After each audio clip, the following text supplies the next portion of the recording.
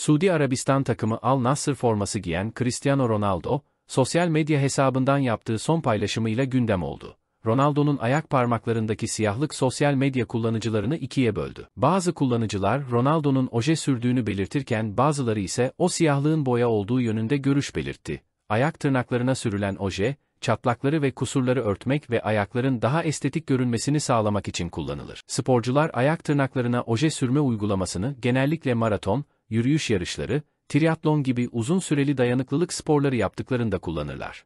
Bu sporlar sırasında ayaklar yoğun bir şekilde kullanıldığından, ayak tırnakları çatlayabilir veya morarabilir. Ayak tırnaklarına sürülen oje, çatlakları ve kusurları örtmek ve ayakların daha estetik görünmesini sağlamak için kullanılır. Ayrıca, uzun süreli dayanıklılık sporları sırasında ayaklarda oluşabilecek tırnak batması veya tırnak kaybı gibi sorunlara karşı da bir koruma sağlayabilir. Bununla birlikte, ayak tırnaklarına oje sürme uygulaması, sağlık açısından bazı riskleri de beraberinde getirebilir. Özellikle, kalitesiz veya yanlış kullanılan oveler, tırnak mantarı gibi enfeksiyonlara veya tırnaklarda renk değişikliklerine neden olabilir. Bu nedenle, sporcuların tırnaklarına oje sürmeden önce, kaliteli ve güvenilir ürünler kullanmaları ve tırnak bakımına özen göstermeleri önemlidir.